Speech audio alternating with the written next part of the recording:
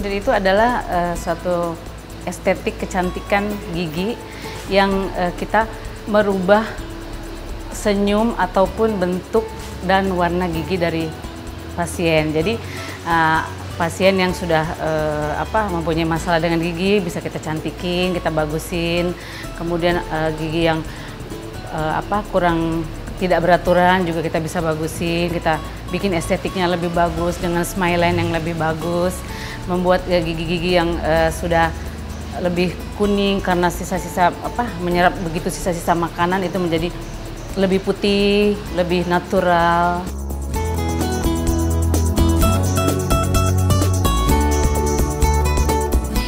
Ini lebih ke estetik, jadi estetik dan lifestyle, tetapi juga bisa memperbaiki fungsi gigi. Karena fungsi gigi itu kan kalau lama-lama dia uh, tambah uh, sudah tambah rapuh, nah itu bagus juga untuk uh, kegunaannya menggunakan veneer.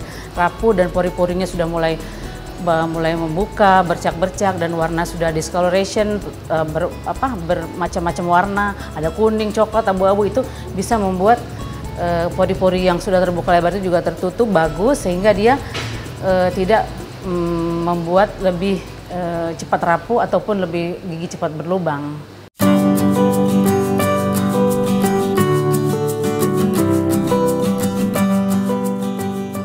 Plus minusnya tuh kalau dari segi plusnya pasti pasti uh, semua fungsi jadi baik, semua jadi gigi jadi bagus, indah.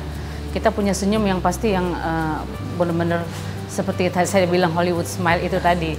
Tetapi kalau dari segi negatifnya dalam arti kata efek samping itu bisa aja terjadi di saat mungkin ya pasien itu oral hygiene-nya buruk. Jadi dia jorok, dia jarang sikat gigi, jarang flossing, pakai benang gigi, dia jarang kontrol ke dokter gigi. Jadi dia uh, makannya juga sembarangan. Maksudnya sembarangan tuh semua dia makan apa nah itu bisa terjadi ya, hal-hal uh, yang tidak baik yang tadi uh, apa uh, efek yang tidak kurang baiknya tidak baik yaitu.